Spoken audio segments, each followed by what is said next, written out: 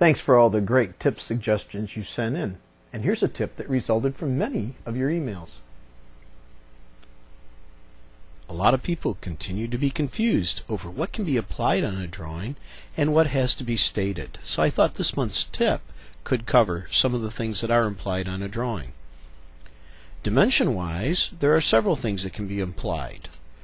When you see lines at 90 degrees to one another or right angles, there's an implied 90 degree angle, whether it's center lines or lines representing features on the part. This is also true for lines that are shown parallel. There's an implied zero degree relationship between the lines.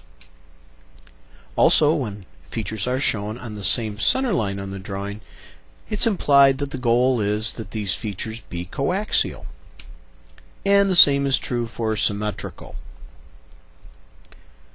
And if I have a line tangent to a circle, I don't have to say anything about it on the drawing. It's implied to be tangent.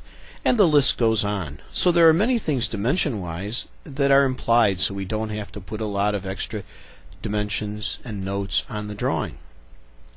What about tolerances, though? Well, the standard says tolerances must be stated. I know. You'd rather not have to put all those tolerances on the drawing.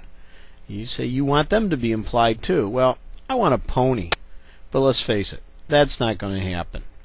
So when we look at the standard, it says, although there's a lot of dimensions that can be implied, tolerances must be stated on the drawing. If you're having trouble stating the tolerances on the drawing, this is our website where you can download well over a hundred tips on applying geometric dimensioning and tolerancing.